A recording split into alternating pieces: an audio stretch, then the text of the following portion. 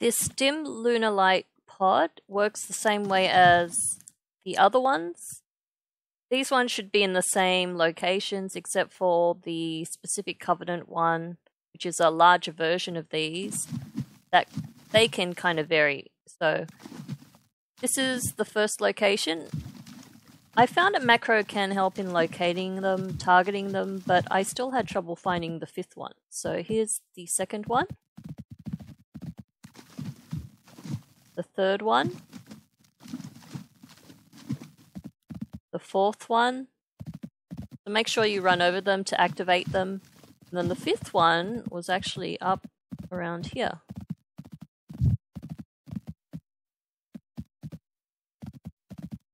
now back to the pod and you should be able to open it now.